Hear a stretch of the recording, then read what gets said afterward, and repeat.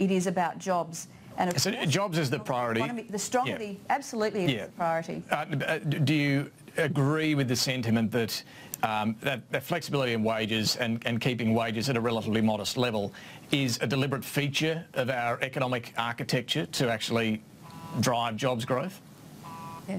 No, I don't believe. No, absolutely not. And you know, for Bill Shorten to even suggest that, I think is uh, it shows a Well, fundamental. it- I'm actually quoting. economics. I'm quoting Mathias Um, Cormann, the finance minister Yes. here, uh, minister, your colleague. He says that wages flexibility is quite a deliberate feature of our economic architecture.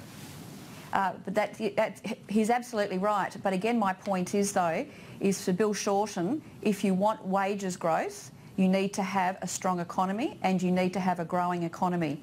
So he's, while he's focused on, on the issue of wages, and really when he's talking about wages, what is Bill Shorten actually talking about? He's talking about the politics of envy.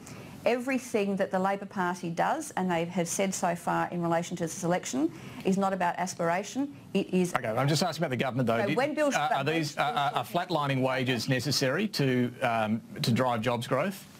Well, as Mathias, uh, Mathias Cormann has said and as the Prime Minister has said, is that this is a structural lag, but it is closing and there has been some positive signs now in wage growth. So again, coming back to that point, the more, we, the more jobs we create, that gap is closing. And you have a look at the record on, on, our, on the economy, where uh, of the G7 countries, uh, we're uh, only second behind the United States in growth. And with that growth, over time is coming uh, higher wages. And right. as you've said, they have been sluggish. A, a final one.